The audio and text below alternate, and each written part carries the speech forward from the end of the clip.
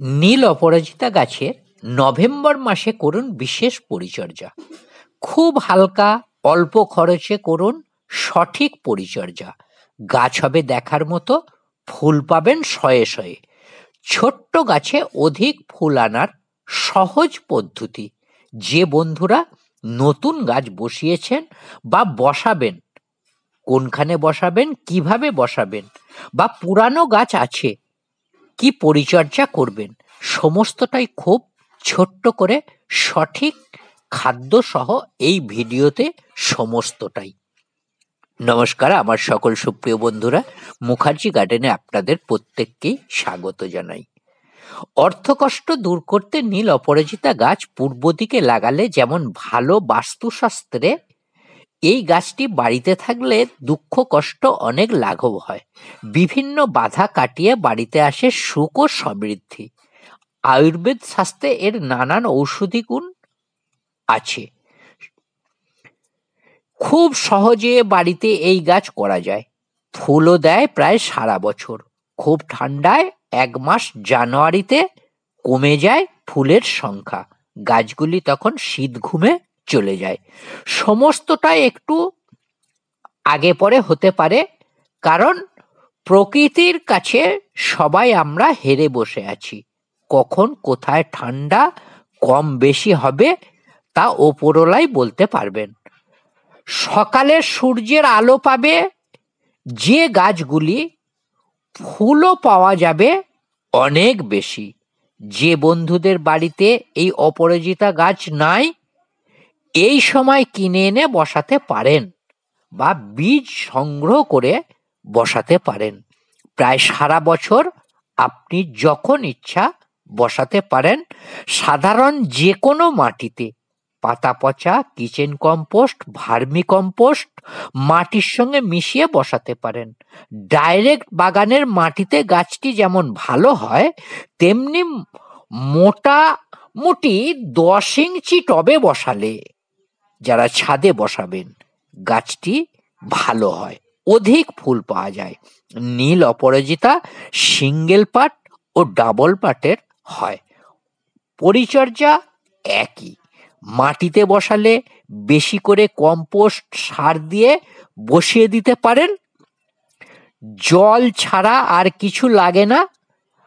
ও নিজে নিজেই শিকড় বিস্তার করে খাবার সংগ্রহ করে নেয়। আর টবের গাছ হলে মাসে একবার খাবার দিলেই হবে। এই গাছে এনপিকে দশ দশ দশ হিসাবে খাদ্য দিতে হয়। যদি ফুল নিতে আমরা চাই, এখন দশ দশ দশ সার তো কোথায় পাবেন? তাই ছোট্ট চামচের এক চামচ দু গ্রাম হবে। ইউরিয়া দিন, ডিএপি দিন, চার থেকে ছ পিস দানা আর পটাশ দিন দু গ্রাম। সঙ্গে এক চাম, চা চামচের নিম খোল, দু মুঠো কম্পোস্ট। বড় গাছ হলে পনেরো দিনে একবার, আর এই রকম ছোট্ট গাছ হলে একবার দিলেই হবে মাসে।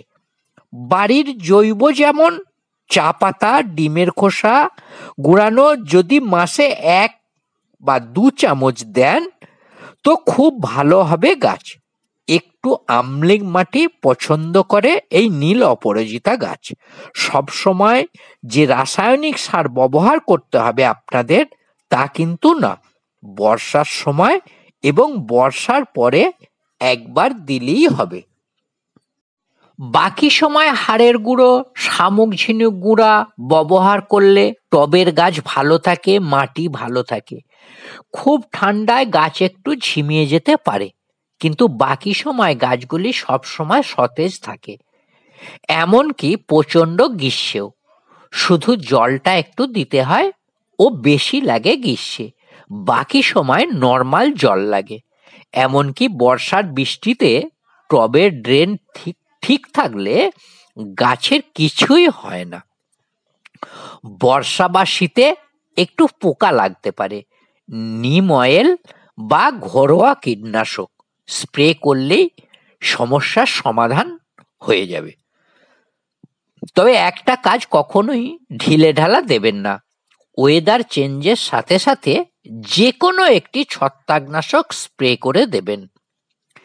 অধিক ফুল নিতে গাছে প্রতি মাসে একবার একটি পিজিআর স্প্রে করে দেবেন। তাহলে গাছের বৃদ্ধির সঙ্গে সঙ্গে ফুলের সংখ্যাও বাড়বে। খুব ঠান্ডায় ফুল কমে যাবে। তখন খাবার দেবেন না। প্রয়োজনে জল দিয়ে গাছটিকে বাঁচিয়ে রাখুন। এখনও শীতের অনেক দেরি, তাই এই সময় ছোট বড় নতুন পুরানো গাছে এক চামচ নিম খোল, চার চামচ চা পাতা, হাড়ের গুঁড়া এক চামচ কিচেন কম্পোস্ট এক মুঠো, ভার্মি কম্পোস্ট এক মুঠো ও মাইক্রোনিউট্রিয়েন্ট এক চামচ। একসঙ্গে মিশিয়ে দিন গাছের টবের মাটির ওপরে। কে বুস্টার এক লিটার জলে এক এম দিয়ে স্প্রে করে দিন গাছে একবার। নিম শ্যাম্পু দিয়ে গাছটি পরিষ্কার করে স্নান করিয়ে দিন। গাছগুলি ফুল দিতে দিতে শীত ঘুমে চলে যাবে। আবার শীতের শেষ লগ্নে পরিচর্যা আরম্ভ করতে হবে আপনাদের, আমাদের সকলকে। বন্ধুরা, আজ এই পর্যন্তই। ভিডিওটি ভালো লাগলে একটি লাইক দেবেন এবং যে বন্ধুরা এখনও পর্যন্ত মুখার্জি গার্ডেন চ্যানেলটি সাবস্ক্রাইব করেননি, সাবস্ক্রাইবটা করে নেবার অনুরোধ রাখি। ভিডিওটি শেষ পর্যন্ত দেখার জন্য সকল বন্ধুদের আন্তরিক শুভেচ্ছা ভালোবাসা ও নমস্কার জানাই।